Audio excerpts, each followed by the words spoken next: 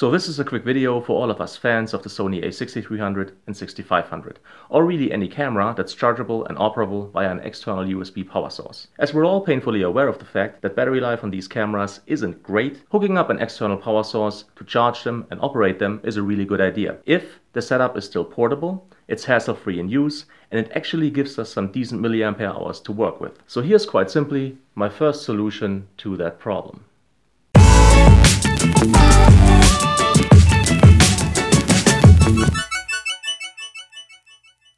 It really is a super simple setup to build. This is the base plate with the 15mm rail mount. These screws we don't need though, so get rid of them, both of them. That's what we want. Now this is the central piece of this setup. This is an Anker power core with 10,000 milliampere hours of battery power. As always with Anker, great value for the money. You can charge the power bank via micro USB and you can charge your device via a standard USB-A output featuring IQ technology. The power core features this little button up here and if you push it, the LED lights indicate how much charge is left left in the power bank. Now you want to apply the power bank to the base plate exactly like this, because this way you can still push the button and see how much charge is left. And we're going to do this using 3M Dual Lock. Now 3M Dual Lock is a heavy duty, all plastic kind of Velcro. But all we need is two pieces of approximately this size. Remove the cover and now turn the power core upside down and apply the 3M right there.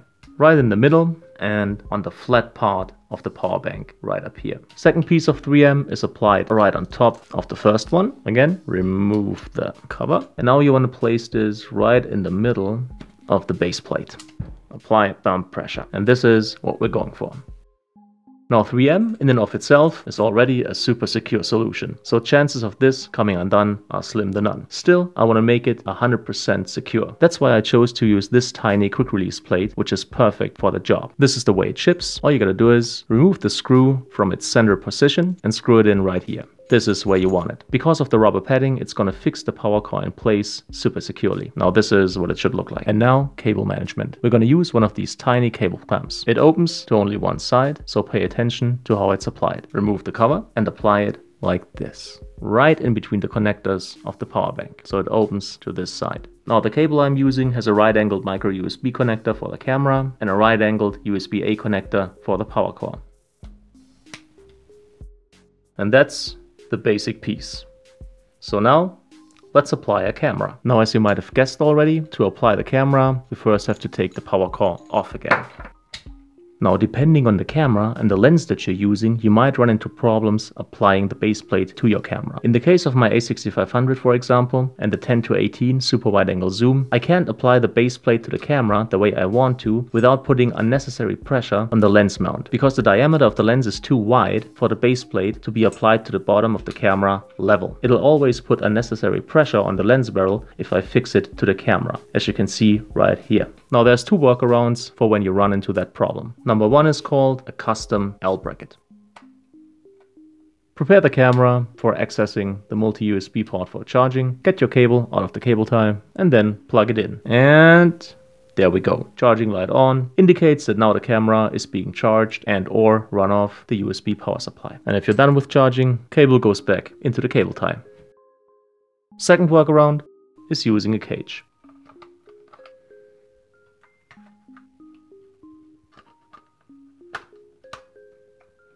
Once again, applying the plate, no problem at all. Because the cage has a lot more quarter inch mounts on the bottom, you have a lot more options when it comes to where to mount the plate. This way you can make sure to accommodate most camera form factors, always making sure that SD card and battery slot are accessible. Let's apply the power core, once again making sure the battery door still opens fine. Quick release plate and there we go again. Once again, if you want to start charging, open the door on the camera to access the multi-USB connector for charging, get the cable out of the cable tie and simply plug it in. And once again, there we go. Now more likely than not though, if you're using your camera's kit lens, you won't have any problems applying the plate. Simple as that. So there you go, an extra 10,000 milliampere hours of battery power for your favorite USB chargeable camera. All of this within a compact form factor that's still lightweight, features cable management and has a super secure fit of the power bank. And if you're done charging, just unplug the cable, place it into the cable tie down here. This way it'll always be part of the setup and you're never gonna forget to bring it. So if you liked the video, if you found it helpful, please make sure to leave a thumbs up. It's greatly appreciated. Any kind of comment or feedback is welcome and I'll try to answer as quickly as possible. Also, should you feel like supporting the channel, definitely check out the video description. There might be some product links that are interesting for you. In any case, as always, thank you so much for your time. Thank you for watching and hopefully see you again soon.